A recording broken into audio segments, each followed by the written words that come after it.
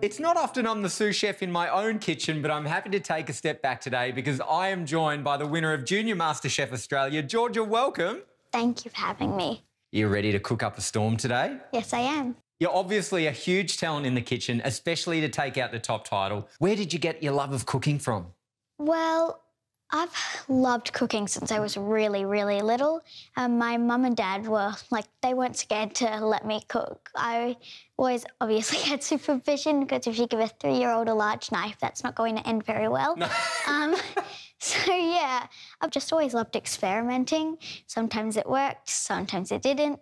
And I guess it was just like that sort of thing that made me love it so much. So, talk me through what we're going to be making today.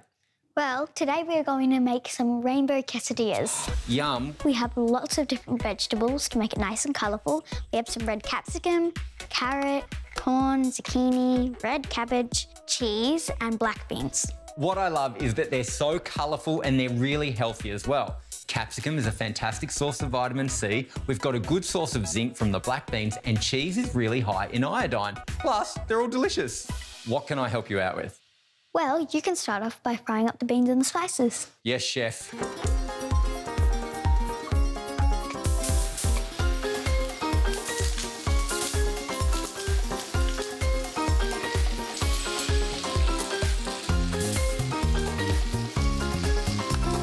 The bean filling is looking awesome. Georgia, what are you up to? So I've just started making the guacamole, which is going to go with our quesadillas. Why is it important for you to eat healthily?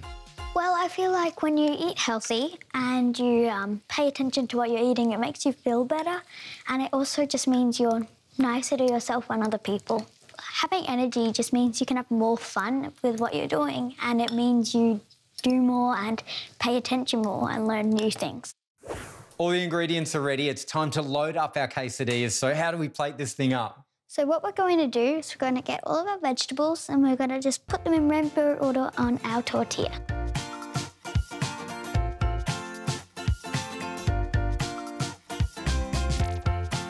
Now, this is a bit of a tricky one, Georgia. What is your favourite ingredient to cook with? I really love cooking with citrus. Yum. What would you do with the citrus? Well, I like putting it in pastries.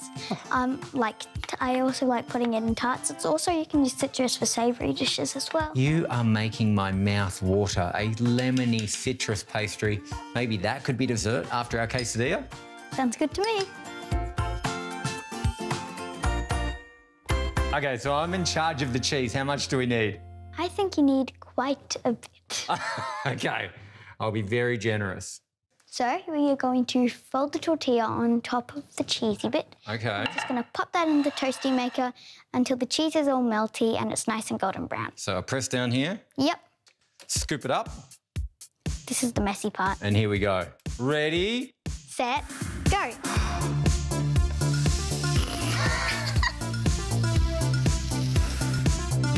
Okay, so whilst this is cooking, what advice would you have for other kids who want to get involved in cooking themselves?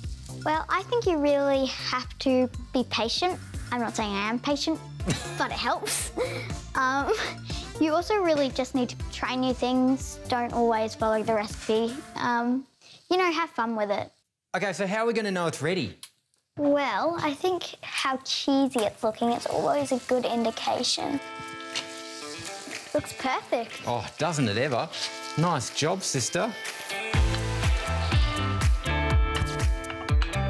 So in addition to a healthy, balanced diet, just like this delicious quesadilla and regular exercise, and for parents who might be looking to fill nutritional gaps in their kids' diet in the form of supplements, our friends at Swisse have released a new kids gummies range. They're 99.9% sugar-free, no artificial sweeteners, made with only natural colours and flavours. There's nothing to hide.